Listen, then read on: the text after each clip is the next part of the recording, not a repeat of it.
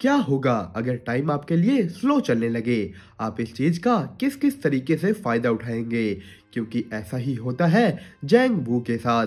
तो हमारी इस कहानी की शुरुआत होती है एक सीसीटीवी ऑफ़िस से, जहाँ एक लड़का बंद कमरे में भी सनग्लासेस लगाकर बैठा था। वहाँ के एम्प्लॉयज़ भी इस चीज़ को नोटिस करके आपस में बात कर रहे होते हैं, पर तभी अचानक सीसीटीवी कैमरे में दो चोर चोरी करके भागते हुए नज़र आते हैं, जिन्हें देखकर वो लोग तुरंत ही पुलिस को इन्फॉर्म कर देते हैं। जब तक वो लोग उन चोरों को ट्रैक कर पाते, वो उनकी नज़रों से निकल जाते हैं। किसी को भी चोरों का कोई सुराग नहीं मिलता पर वो नया चश्मों वाला एम्प्लॉय सबको एक वीडियो दिखाता है, जहाँ चोर एक गली में छुपते नज़र आ रहे थे और इस इंफॉर्मेशन की मदद से पुलिस उन चोरों को पकड़ लेती है। हमें यहाँ पता लगता है कि ये लड़का यो जैंग बू है, जिसे आँखों में एक प्रॉब्लम है, जिस वजह से वो हर चीज़ को स्लो मोशन में देख पाता था और इसलिए वो उन चोरों को भी भागते हुए देख पाया। इसके बाद हमारी ये स्टोरी पास्ट में जाती है, जहाँ हम देखते हैं कि जैंग बू फिफ्थ क्लास का स्टूडेंट है और वो अपनी चाइल्डहुड बेस्ट फ्रेंड बोंगसू मी के साथ एक रेस में हिस्सा ले रहा था और वहीं से जैंग बू को स्लो मोशन में दिखना शुरू हो जाता है। जब वो अपने पेरेंट्स को ये बात बताता है तो वो तुरंत ही उसे एक डॉक्टर के पास ले जाते हैं, जिसका नाम डॉक्टर स्योक होता है। जब वो उसकी आँखों को चेक करता है तो बताता है कि उसे डायनामिक विजन इक्विटी नाम की एक रेयर आई डिज़ीज़ है, जिस वजह से उसकी आँखें सब कुछ स्लो मोशन में देखती हैं। और अपनी थ्योरी को साबित करने के लिए डॉक्टर एक बेसबॉल बहुत तेज स्पीड से जैंगबू की तरफ़ फेंकता है, जिसे वो बहुत आराम से कैच कर लेता है। डॉक्टर कहते हैं कि उसे हर वक्त काला चश्मा लगाकर रखना होगा, जिससे उसकी आँखों को थोड़ा आराम मिले। जैंग के डिसऑर्डर के बारे में पता लगने के बाद पैसा कमाने के लिए उसके डैड दूसरे देश चले जाते हैं, ताकि वो अपने बेटे का ठीक इलाज करवा सके। अब जैंगबू घर में अपनी छोटी बहन और माँ के साथ ही रहने लगता है। जैंगबू की ये बीमारी एक आशीर्वाद और श्राप दोनों थे, जहाँ उसे लोगों को स्लो मोशन में देखकर मज़ा आता था वहीं दूसरी तरफ़ हर वक्त काला चश्मा लगाने की वजह से उसे स्कूल में बुली भी किया जाता था। धीरे धीरे अब जैंगबू अपनी फ्रेंड सुमी से प्यार करने लगा था, पर जैंगबू के साथ रहने की वजह से सुमी भी दूसरे बच्चों द्वारा तंग होने लगी थी, जिसकी वजह से उसे जैंगबू का साथ छोड़ना पड़ता है। अब जैंग का कोई दोस्त नहीं था जिस वजह से वो चाहता था कि उसकी आँखें अब पूरी तरह से ही खराब हो जाएँ, जो करने के लिए वो हर वक्त टीवी देखना शुरू कर देता है। उसकी आँखों पर तो इससे कोई फ़र्क नहीं पड़ता पर उसे सुपर हीरोज के नाटक देखने की लत लग जाती है। जैंग उन सभी सुपर हीरोज को बहुत ध्यान से देखता और उन जैसा बनने की पूरी कोशिश भी करता था, लेकिन कभी बाहर नहीं जाता था। ज़्यादा पैसे कमाने के लिए उसके फादर किसी भी छुट्टी पर घर नहीं आते थे और इसी तरह कई साल बीत जाते हैं, जिसके बाद आती है उनके घर पर जैंग बू के फादर की एक्सीडेंट की खबर, जिसमें वो अपनी जान खो देते हैं। उनकी मौत के बाद जैंग बू की लाइफ में कोई भी मर्द नहीं बचा था। पर तब उसे डॉक्टर सियोक की याद आती है। जब वो उसे मिलता है तो डॉक्टर उसे बाहर निकलकर पैसा कमाने की सलाह देते हैं, जिसके लिए जैंगबू अब सीसीटीवी सेंटर में काम करने लगा था। सीन यहाँ प्रेजेंट टाइम में आ जाता है जहाँ जैंगबू खुद से बातें करता है और कहता है कि उसे लोगों को सीसीटीवी में देखना अच्छा लगता है, क्योंकि ऐसा करने से उसे अपने बचपन के टीवी ड्रामास की याद आ जाती है। बस फ़र्क सिर्फ़ इतना है कि इस ड्रामा में सभी लोग अपनी लाइफ के मेन एक्टर्स थे। एक शाम उसके साथ काम करने वाला एम्प्लॉय ब्योंग सू, उनके बोस से जैंग के बिहेवियर के बारे में बात करता है। वो कहता है कि जैंग सारा टाइम बहुत शांत रहता है और किसी से बात नहीं करता। वो अपने बॉस को कहता है कि आज से वो जैंग का ख्याल रखेगा, क्योंकि जैंग एक बहुत ही टैलेंटेड लड़का है। अगले दिन से ब्योंग जैंग के पास बैठना शुरू कर देता है और काम के वक्त उससे बात करने की कोशिश भी करता है। पर जैंग उसके सारे सवालों का जवाब बिना कुछ बोले सिर्फ़ मुँह हिलाकर ही दे देता है। जैंगबू सीसीटीवी मॉनिटर करते हुए काउंट करता है कि किसी को कहीं पहुँचने के लिए कितने कदम लगते हैं। ब्योंग सू को उसकी ये सभी बातें अजीब लगती हैं, पर वो उससे कभी नहीं पूछता कि तुम ऐसा क्यों करते हो। ब्योंग सू जैंग से बात आगे बढ़ाने के लिए पूछता है कि क्या तुम्हारी कोई गर्लफ्रेंड है? और इस बात से जैंग को सुमी की याद आ जाती है। अगले ही दिन जैंग सुमी से मिलने उसके घर चला जाता है। बड़े होकर सुमी भी बेहद खूबसूरत बन चुकी थी। पर उसे पैसों की बहुत दिक्कत थी। यहाँ हम देखते हैं कि उसका कर्जदार उसे बहस कर रहा होता है। वो सुमी से कहता है कि वो उसका कर्ज अपना घर बेचकर चुका दे। जैंग यहाँ सब कुछ देख तो रहा था, पर वो वहाँ किसी से बात नहीं कर पाता। अब वो अपने सीसीटीवी सेंटर से रोज सुमी को देखना शुरू कर देता है। उसे सुमी का पूरा टाइम टेबल ही याद हो जाता है। सुमी एक कॉफ़ी शॉप से रोज सोडा पिया करती थी तो अब जैक भी सेम करने लग जाता है। वो सुमी को एक बेकार पड़े सोफे को नोटिस करते हुए देखता है तो अगले दिन उस सोफे को वो कॉफ़ी शॉप के बाहर लाकर रख देता है। रात को सुमी उस सोफे को नोटिस तो करती है, पर बिना ज़्यादा कुछ सोचे उस पर बैठ जाती है। अगले दिन बारिश के कारण वो बस स्टॉप पर ही फंस जाती है। तो जैंग ब्योंग के साथ वहाँ पहुँच जाता है और ड्रामा के हीरो की तरह उसके सर पर छाता खोल देता है। पर सुमी ये देखकर उसे बदतमीज कहकर वहाँ से निकल जाती है। जैंग सुमी को कैसे इम्प्रेस करे, ये पता करने ब्योंग के साथ डॉक्टर स्योक के पास जाता है, जहाँ डॉक्टर उसे सुमी को फ्लावर्स देने को कहते हैं। अगले दिन सुमी एक ऑडिशन देने के लिए घर से निकलती है, पर वो काफ़ी लेट हो चुकी थी, इसलिए उसे रास्ते में ही खड़ा होकर ड्रामा ऑडिशन के लिए गाना गाना पड़ता है। सभी लोग उसे वहाँ हैरानी से देखने लगते हैं। जैंग बू भी फूलों का गुलदस्ता लेकर वहीं खड़ा था। सुमी का गाना खत्म होने के बाद जब जैंग उसे गुलदस्ता देता है तो वो जैंग से कहती है कि फूलों की जगह अगर तुम जहर लाते तो ज़्यादा अच्छा होता। ये कहकर सुमी जब वहाँ से जाने लगती है तो जैंगबू उसके पुराने दोस्त के रूप में अपना इंट्रोडक्शन देता है।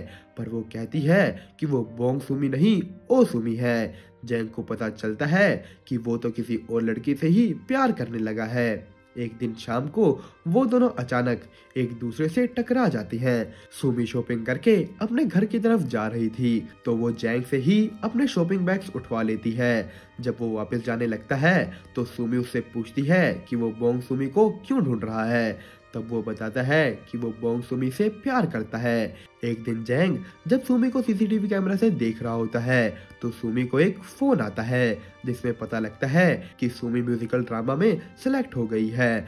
सुमी अपनी सिलेक्शन की बात सुनकर बहुत खुश हो जाती है और वहीं पर नाचने लगती है, जिसे देखकर जैंग बू भी खुश होता है। सुमी उस रात एक रेस्टोरेंट में अपनी सिलेक्शन का जश्न मनाने जाती है, जहाँ वो बाहर खड़े जैंग बू को भी देख लेती है और उसे भी अंदर अपने पास बुला लेती है। सुमी जैंगबू को अपने गाने की स्क्रिप्ट दिखाती है। जैंगबू स्क्रिप्ट पढ़कर उसे कॉन्ग्रेचुलेट करता है। और सुमी को भी अपने स्लो मोशन वाले टैलेंट के बारे में बताता है। रेस्टोरेंट में वो सभी लोग एक गेम खेलते हैं, जहाँ जैंगबू की तरफ़ सभी तेज़ी से चम्मच फेंकते हैं और वो सभी को कैच कर लेता है। जैंगबू अगले दिन सुमी के घर के बाहर चक्कर लगाता है। प्योंगसु ये देखकर समझ जाता है कि वो सुमी के घर के रास्ते को याद कर रहा है। रात को जब सुमी अपने काम से वापस आती है तो जैंग भू भी उसका वहाँ इंतज़ार कर रहा होता है वो दोनों साथ में ही आगे बढ़ते हैं। बातों बातों में सुमी को पता लगता है कि जैंग सीसीटीवी सेंटर में काम करता है और वो हर वक्त लोगों को देख सकता है। जैंगबू और सुमी दोनों उस कॉफ़ी शॉप के आगे रुक जाते हैं, जहाँ सुमी उसे बताती है कि उसे इस कैफ़े के ओनर पर क्रश है, वो बहुत अमीर है और उसके पास एक बड़ी गाड़ी भी है। जैंगबू को कैफ़े ओनर से जलन होने लगती है। वो सुमी को इम्प्रेस करने के लिए कार में उसे घुमाने का फैसला करता है। वो अपने ऑफ़िस में सभी से पूछता है कि अगर किसी के पास कार है तो वो उसे थोड़ी देर के लिए कार दे दे, मगर उनके ऑफ़िस में किसी के पास भी कार नहीं होती। अगले दिन काम से लौटते हुए सुमी बहुत खुश होती है, मगर तभी उसका सामना उसके कर्जदार से हो जाता है, जो उसे धमकाता है कि अगर उसने उसके पैसे नहीं लौटाए तो वो उसे चोट भी पहुँचा सकता है। मगर इससे पहले वो कुछ करता। जैंगबू और ब्योंगसू वहाँ आकर सुमी को बचा लेते हैं।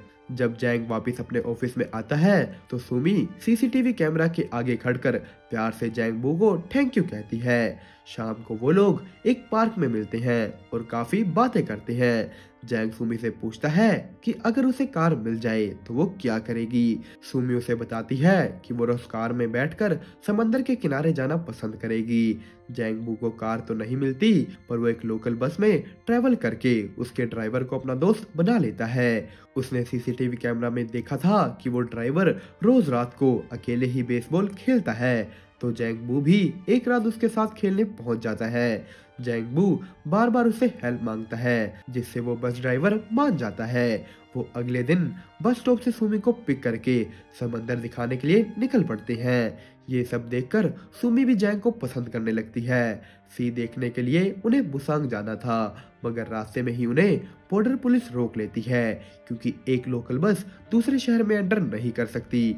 सुमी पुलिस वाले से लड़ने लगती है, पर ब्योंग सब कुछ संभालता है। जैंगबू की सारी मेहनत खराब हो जाती है और उन्हें बिना सी देखे ही वापस मुड़ना पड़ता है। अगले दिन सीसीटीवी सेंटर का बॉस सबको बताता है कि शहर में लड़कियों के गायब होने के केसेस बढ़ रहे हैं, इसलिए उन सबको बहुत अलर्ट रहना होगा।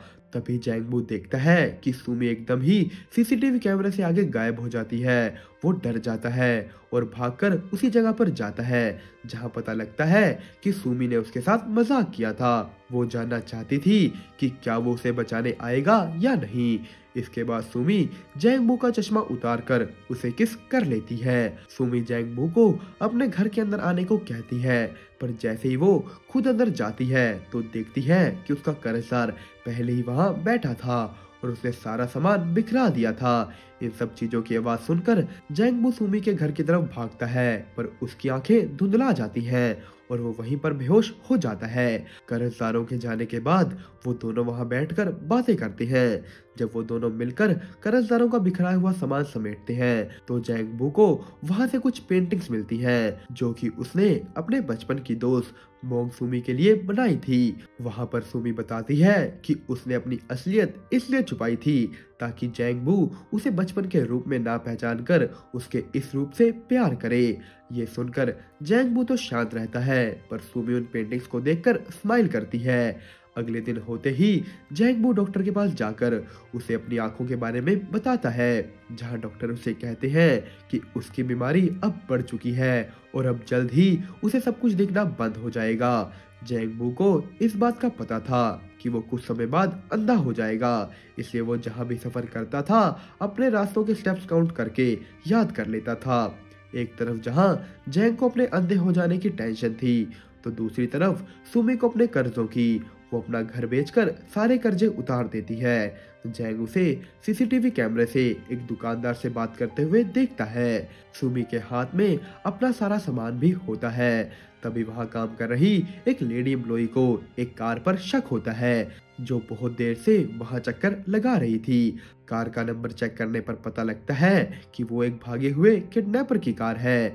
ये देखकर वो लोग पुलिस को इन्फॉर्म कर देते हैं, पर दूसरी तरफ़ सुमी भी जैंग की आँखों के आगे से गायब हो जाती है। जैंग उसे ढूँढने के लिए अपनी साइकिल लेकर उसकी तरफ़ जाता तो है, मगर उसकी आँखों से अब कुछ भी ठीक नहीं दिख रहा था। वो एक कार से टकराकर गिर जाता है। उसका दोस्त ब्योंगसू ये सब देखकर उसकी मदद करने के लिए निकलता है। यहाँ हम देखते हैं कि सुमी के आगे एक अनजान आदमी खड़ा होता है, मगर इससे पहले वो सुमी को कहीं ले जा पाता। जैंगबू वहाँ भागकर आकर सुमी को बचा लेता है, मगर वो एक बड़े ट्रक से भी टकराने से बाल बाल बचता है। पुलिस वहाँ आकर सुमी को पूछताछ के लिए ले जाती है, और जैंगबू वहाँ अकेला रह जाता है। बेओंग वहाँ आकर अपने दोस्त का हाथ पकड़ता है। जैंग अपनी आँखें खराब हो जाने के दुख में रोने लगता है। अब हम देखते हैं कि सुमी अपनी लाइफ में बिज़ी हो जाती है और जैंगबू को कांटेक्ट नहीं करती। उसे जब भी जैंगबू की याद आती, वो सीसीटीवी कैमरे के आगे आकर हाथ हिला देती थी। एक दिन सुमी जैंगबू को अपने फेवरेट कॉफ़ी शॉप में देखती है। मगर जैसे ही वो उसे हेलो करने के लिए अपना हाथ ऊपर करती है, वो जैंगबू के हाथ में एक वॉकिंग स्टिक देखती है। वो ये देखकर बहुत दुखी हो जाती है। सुमी जैंगबू का सारे रास्ते पीछा करती है, जिससे वो एक आर्ट गैलरी के आगे पहुँच जाती है। अंदर जाने पर हम उस आर्ट गैलरी में सुमी की ही पेंटिंग्स देखते हैं और जैंगबू को कहते हुए सुनते हैं कि भले ही उसकी आँखों से उसे कुछ नहीं दिखता, मगर सुमी उसे हमेशा याद रहेगी। अगले दिन फिर सुमी जैंग का पीछा करती है, मगर आज जैंगबू उसे महसूस कर लेता है और उससे पूछता है कि आज वो कहाँ जाना चाहती है। ये सुनकर सुमी उसे हक कर लेती है और ये फ़िल्म यहीं पर खत्म हो जाती है। दोस्तों, आपको ये फ़िल्म की एक्सप्लेनेशन कैसी लगी? हमें कमेंट करके ज़रूर बताना। साथ ही साथ और भी ऐसी इंटरेस्टिंग मूवीज़ की एक्सप्लेनेशन देखने के लिए इस वीडियो को लाइक और हमारे चैनल को सब्सक्राइब ज़रूर करना। अब मिलेंगे हम आपको अगली वीडियो में। तब तक के लिए अलविदा।